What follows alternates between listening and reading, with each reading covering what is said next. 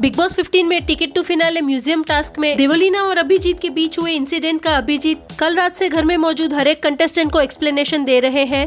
जहाँ आज सुबह लाइव फ़ीड में अभिजीत उमर को बिठा के कहते हैं कि, मुझे इस घर में 19 दिन हो गए और सबसे ज़्यादा क्लोज में किसके हूँ बता? जहाँ उमर कहते हैं प्रतीक और देवो के, जिसपे अभिजीत कहते हैं, नहीं, सबसे ज़्यादा वक्त मैंने देवो के साथ बिताया है। फिर उमर से कहते हैं कि, चल बता कि मैंने उसको कौन सा अच्छा वाला नाम दिया है? उमर कहते हैं, मंजुलिका, जिसपे अभिजीत कहते हैं, नहीं, मैं उसे मामा की लड़की बुलाता हूँ क्योंकि हमारे में बहन और साली को मामा की लड़की कहते हैं, जिसके साथ आप सारे मज़ाक कर सकते हो।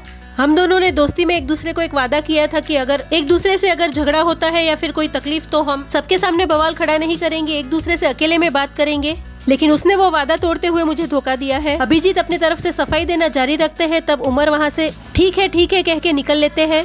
वहीं अभिजीत का एक्सप्लेनेशन अधूरा छोड़ते हुए उमर तो वहाँ से भाग जाते हैं, लेकिन अभिजीत किसी और को ढूंढते हुए गुफा में रश्मि को देखते हैं और उसके साथ यही बातें दोहराना शुरू करते हैं और फिर से कहते हैं कि उसने मुझे दोस्ती में धोखा दिया है। जब मेरा कोई मज़ाक उसे पसंद नहीं आया तो उसे मुझे अकेले में बताना चाहिए था, ना ही सबके सामने। कल अगर सलमान सर के सामने ये बात निकलती है तो तू मेरा साथ देना। देवो ने मेरी हर तकलीफ़ में मेरा साथ दिया है, चाहे वो जेंट्स टॉयलेट वाला मुद्दा हो या फिर राजीव को पूरे मर्द वाली बात कहना। मैंने उसे मामा की लड़की बोला है तो मैं उसके साथ मज़ाक कर सकता हूँ, लेकिन उसने जो सारे घर के सामने मेरा मुद्दा बनाया है, वो गलत बात है। रश्मि को पूरी बात समझा के अभिजीत अपनी जगह पे बेडरूम में जाके लेट जाते हैं, तभी फिर से सारी बातें रितेश को समझाने लगते हैं और कहते हैं कि, उसने हमारी दोस्ती का वादा तोड़ा है। इस सबके बाद हम दोनों ने एक दूसरे को सॉरी कह दिया है तो उसे मुझसे बात करनी चाहिए। अगर वो फिर से दोस्त नहीं बनती और वीकेंड पे ये मुद्दा उछालेगी तो गलत होगा और अगर मैं इस घर में बच गया तो फिर मैं उसे कभी बात नहीं करूँगा। तुम सिर्फ़ मुझे इतना कह दो कि तुम वीकेंड पे मेरा साथ दोगे। और हो सके तो हम दोनों की सुलह करा दो तो वीकेंड पे ये बात उठे ही नहीं।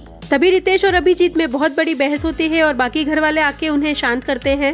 फिर करण आके उमर से कहते हैं कि ये रितेश की प्लानिंग है कि कल ये मुद्दा उठा के अभिजीत को एविक करवा के खुद बच जाए।